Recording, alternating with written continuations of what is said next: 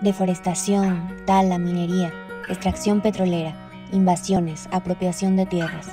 Estas son algunas de las amenazas que atentan contra la supervivencia de la Amazonía y las comunidades indígenas y tradicionales que la llaman hogar.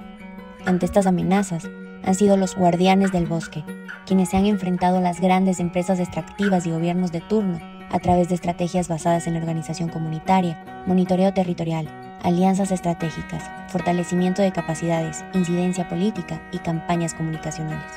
En esta serie de estudios de caso, conoceremos sobre procesos de defensa territorial liderados por organizaciones indígenas y locales de la Amazonía del Brasil, Ecuador y Perú. Adéntrate en lo más profundo de la Amazonía en www.toamazonia.org y recorre sus caminos de resistencia.